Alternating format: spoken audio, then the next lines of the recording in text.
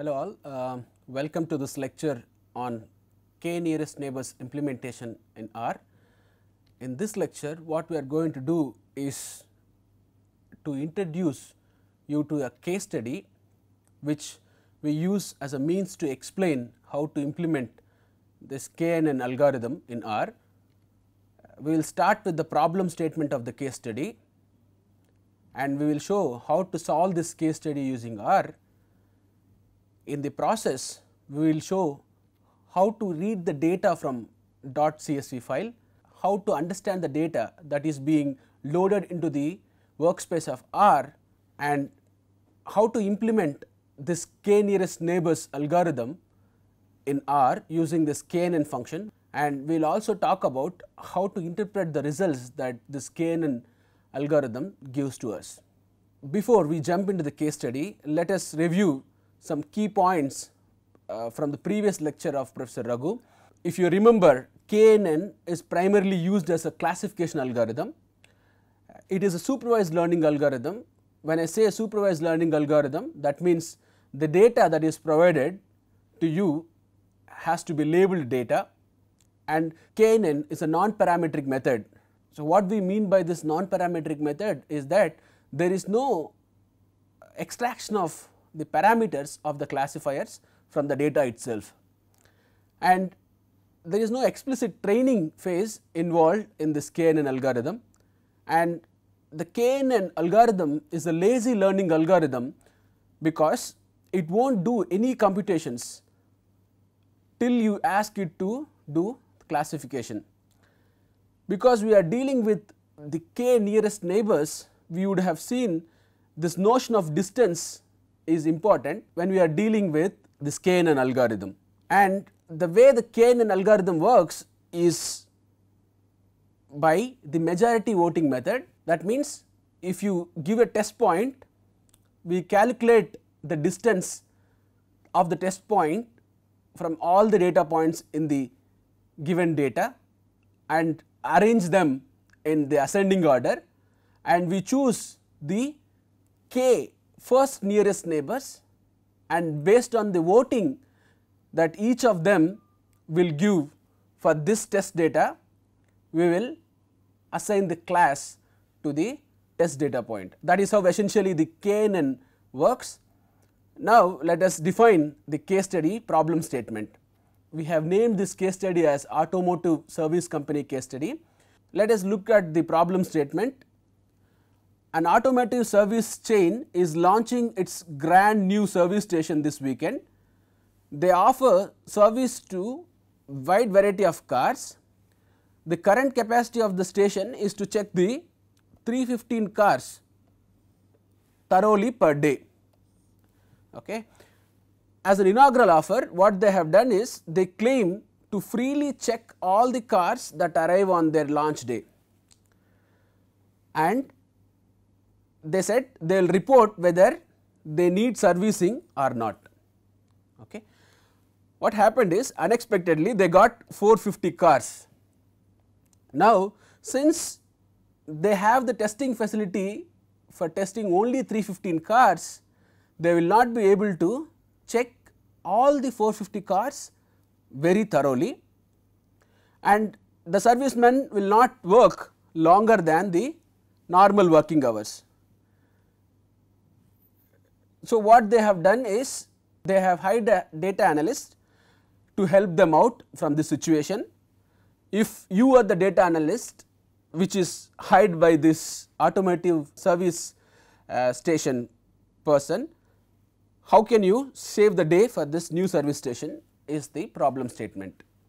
Now, let us see how a data scientist can save a day for the service station people.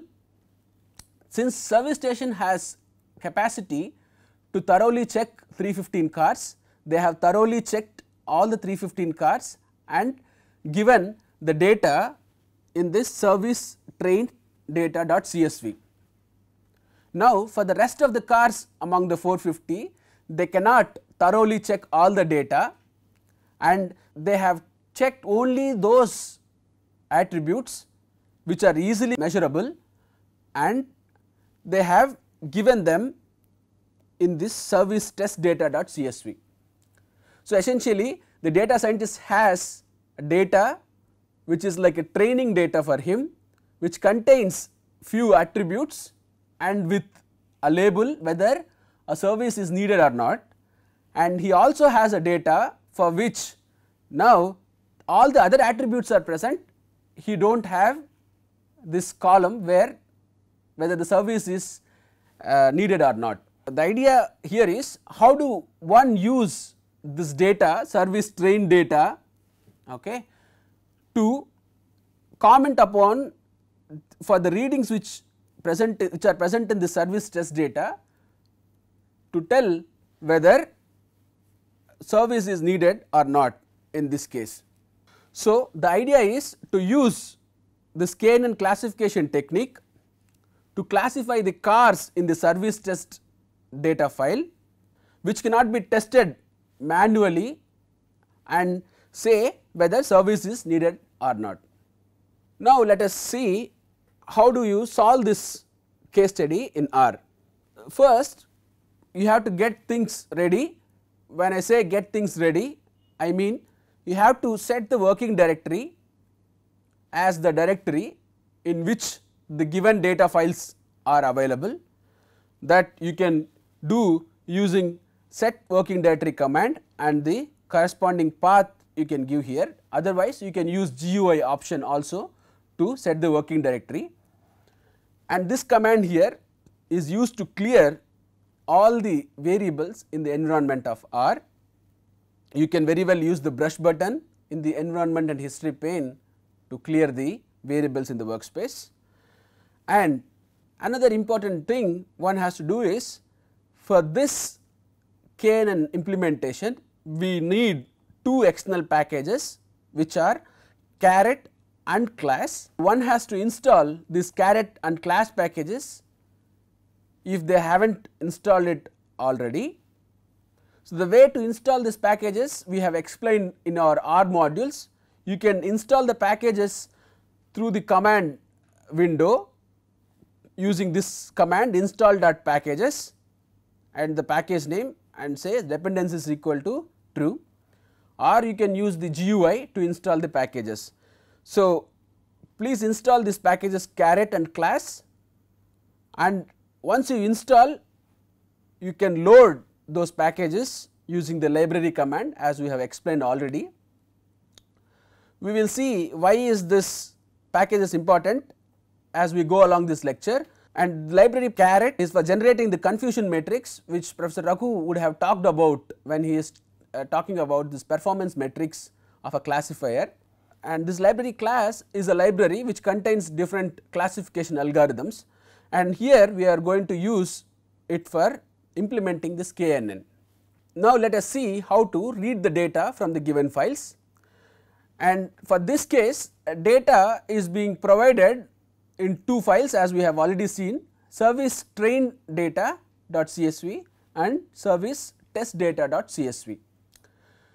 So, in order to read this data from the CSV files function we use is read.csv function.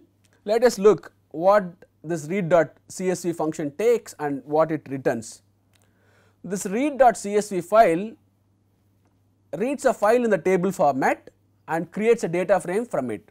The syntax for this read.csv function is as follows read.csv the file name and the row names. Let us look at what this input arguments file and row dot names means. File is essentially the name of the file from which you have to read the data and row dot names is a vector of row names. It can be either a vector giving the actual row names or a single value which specifies what column of the data set is having the row names. Let us see how to read the data in this particular case.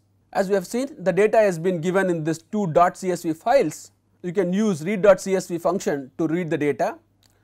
As we have seen in the syntax of read.csv, we have to give the file name that is the file name service train data from which I want to load the data. I, will give this file name and, and I am assigning this to a variable called service train. When you execute this command what happens is it reads the data from the service train data file and assign it to this variable which is of the form data frame. Similarly, you will read the data from service test data and assign it to variable service test which is again a data frame.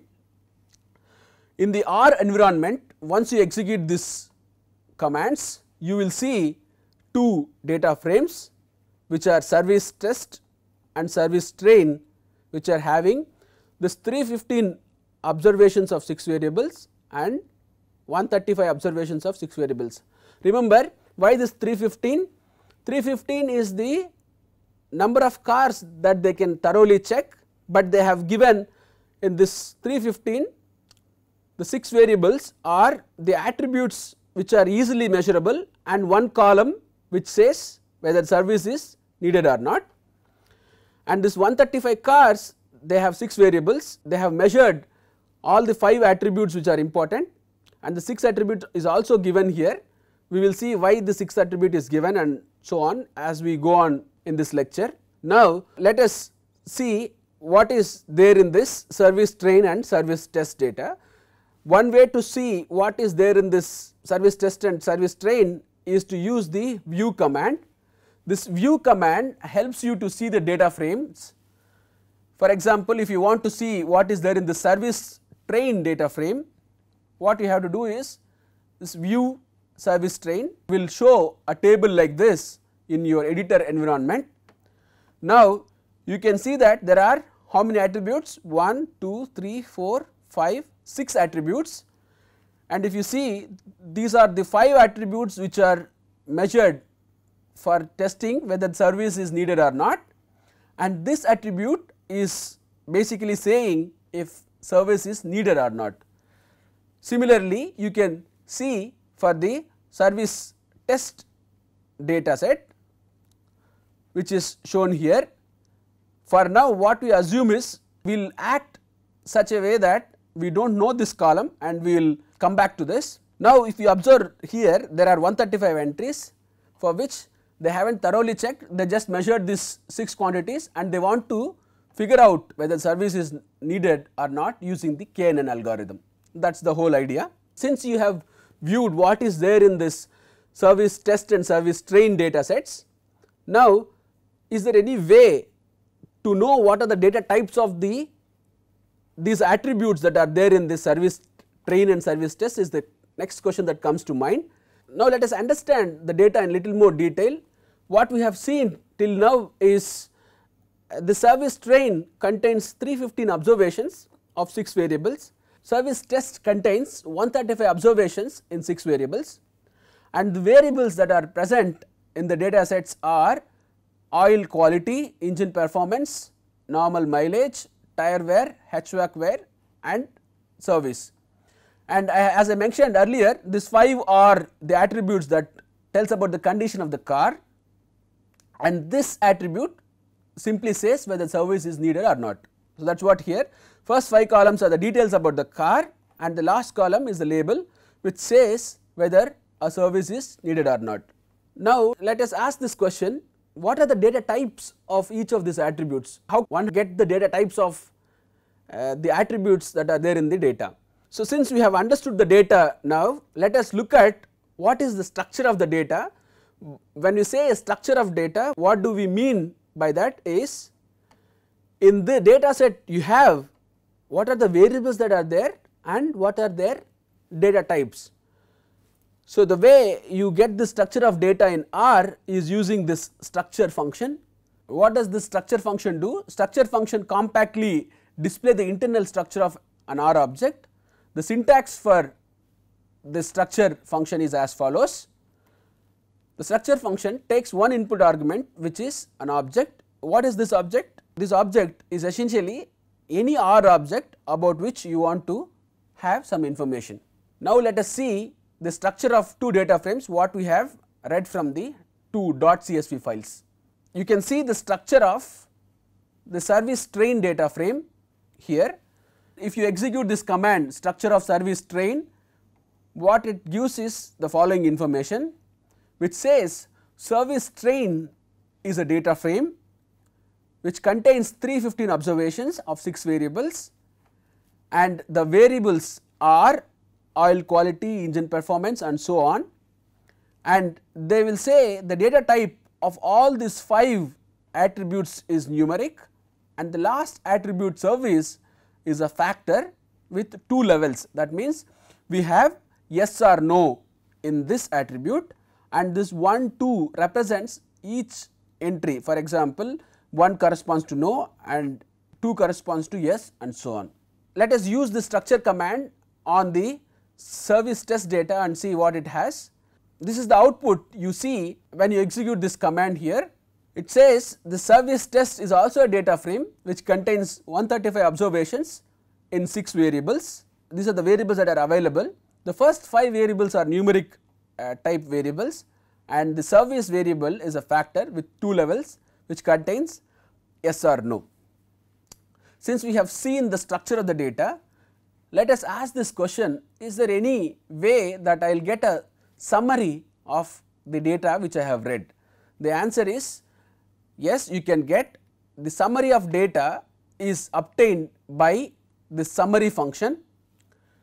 Essentially what it does is it invokes particular methods depending upon the class of the argument that goes along with this summary function. For example, summary function gives a 5 point summary for numeric attributes in the data. Syntax for the summary function is as follows. The summary function takes one argument which is an object.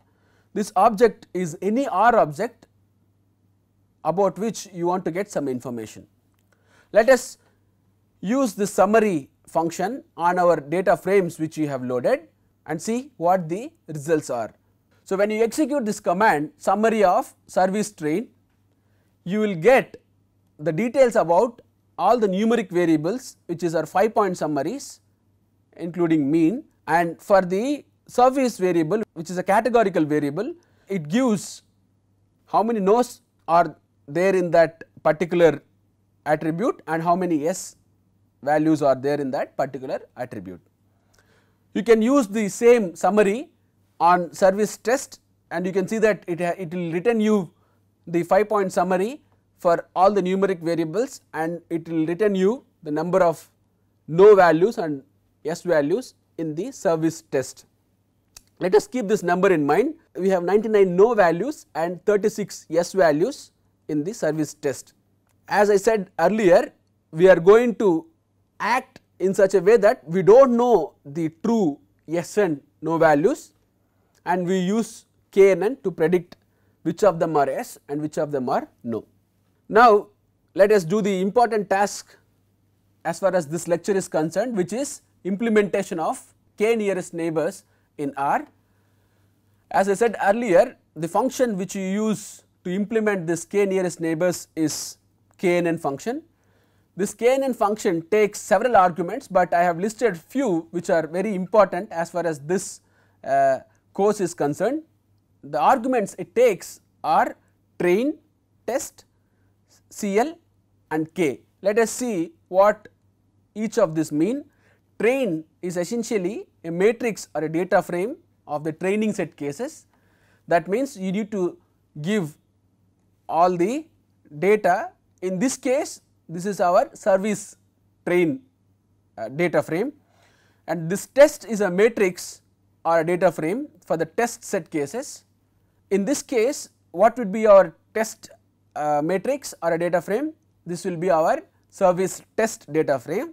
This CL is a factor of true classifications of a training set and this K is the important parameter which is the number of neighbors that are needed to be considered while you do this algorithm which works on this majority voting criteria.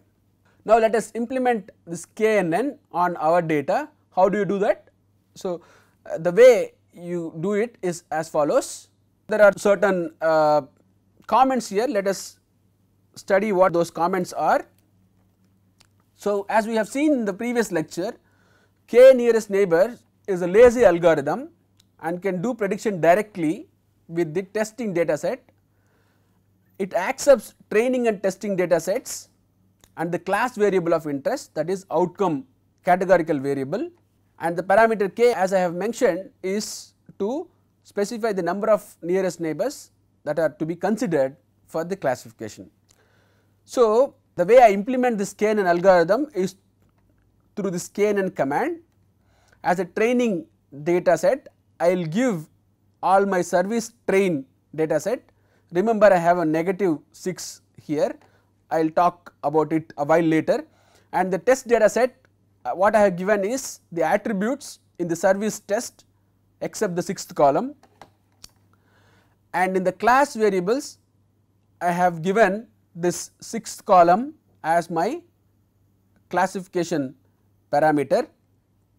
And let us say I want to build a KNN which takes the number of nearest neighbors as 3. So, these are the input arguments for this KNN function. When I execute this whole command here, it will calculate the labels for the test data set and store them in this predicted KNN. I will show you the results in the coming slide. Meanwhile, let us interpret the service train a square bracket and minus 6 means this if you remember since service train is a data frame from our data frames lectures the statement here means that in the service train data frame take all the rows and exclude column 6 that is what it says. This command here gives information in service train except the last column. Similarly, this command here gives the information in the service test except the last column and service train dollar symbol service gives the last column of the training data as a classification factor for the algorithm. Once you give all these parameters execute this the KNN will classify the test data points and then store the labels in this predicted KNN. Let us look at the results and what this predicted KNN contains. So, as we have seen in the earlier slide predicted KNN is the output from the algorithm which has a categorical variable yes or no indicating whether the service is needed or not for each case in the test data. When you print this predicted KNN, this is the output you see. It essentially says in this 135 uh, values you have first car no service is needed and second car no service is needed and for the 23rd car service is needed and so on. So, that is what this KNN algorithm does and you have actually finished your job of classifying the test cars as whether the service is needed or not. When you do not have this luxury of knowing the true value this is where you stop but in our case what happened is we already have the true uh, values whether service is needed or not for this data set what we have. Now when you have this luxury of knowing the true classes you can generate what is called confusion matrix and see how well your classifier is performing. So, there are two ways of generating this confusion matrix. One you can generate the confusion matrix manually, the other way is to use this caret package which can generate confusion matrix and along with it lot of other parameters what Professor Raghu has talked about in his performance matrix lecture. Let us see how to generate this confusion matrix manually. So, this predicted KNN is the labels that is being predicted using the KNN algorithm and when you observe this command here, this is the last column of the service test data frame which says the true labels of whether the service is needed or not. When I do the table, it generates a contingency table and it stores the uh, result in this confusion matrix when I print this confusion matrix the result what I see is as follows this is the predicted no and yes and these are the true no and yes. Recall that we have seen in our test data service is not needed for 99 cars and service is needed for 36 cars. This KNN has exactly predicted all of them correctly, this is what is confusion matrix what we have seen. This is the way you generate the confusion matrix manually. Once you have this confusion matrix, you can calculate the accuracy, right. So, how do you calculate the accuracy? The formula of accuracy is given in Professor Raghu's performance matrix uh, lecture. Essentially, I am taking the diagonal elements that is the correctly predicted values divided by the total number of entries in the service test. When you divide that, you will get the accuracy as 99 plus 36 is 135 and the n row of service test is also 135.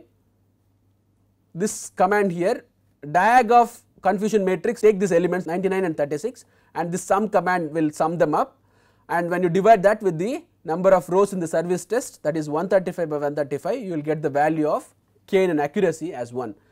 Since this knn is managed to predict all the no cases as correctly as no and all the s cases correctly as yes your accuracy is 1. This is how you generate the confusion matrix manually. Now let us see how to generate this confusion matrix using the caret package and the command confusion matrix. So the command to generate confusion matrix which is there in this caret package is confusion matrix and the input arguments that you need to give are the predicted labels and the true labels.